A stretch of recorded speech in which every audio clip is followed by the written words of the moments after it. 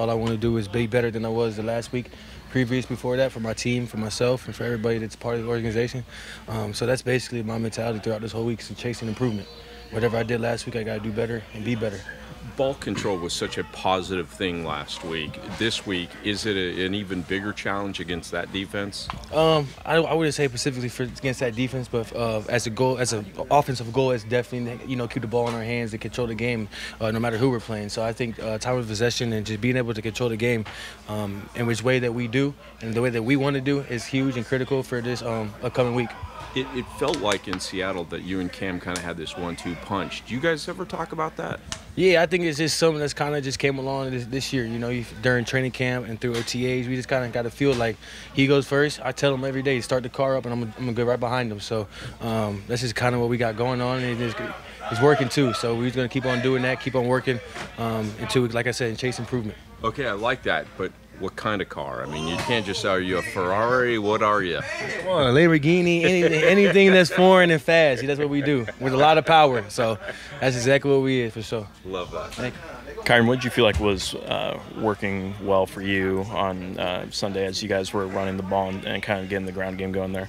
Uh, I think it was just asserting our dominance up front. You know, starting off, um, getting our putting our hand in the dirt and coming off the ball and showing us, showing them who was uh, going to be in control of this. So I think we started that from the first third down that I know that I was in. Um, that we were able to, you know, get uh, out of the gun, run the ball, and get behind our pullers, and, and we just executed it like we said, like I said, to the fullest. So I think this thing putting our hand in the dirt and asserting our dominance is huge.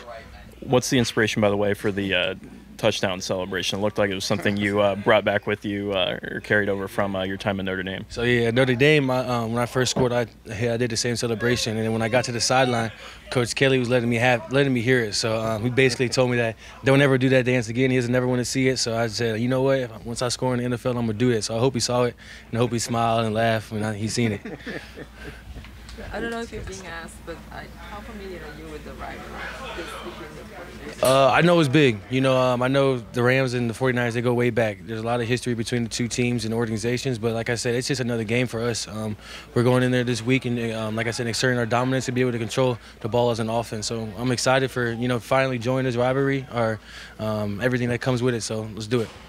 What challenges uh, do you see there, do, or do their does their defensive front present? I know you guys are obviously still working through and studying it, but as of today, what, what have you seen? Uh, obviously, they cause a lot of havoc. You know, they got Bosa on the end, and they got a lot of guys that can rush the quarterback. So, um, just being stout up front and as, as a running back, being able to help my alignment when, it, when it's my turn. Um, if my blitzer comes or any chips that may be happen, that's for me to step in and do that. So I just um, being able to control that offense, I mean the defensive line up front. I think we're going to be a, it's going to be a good game for us.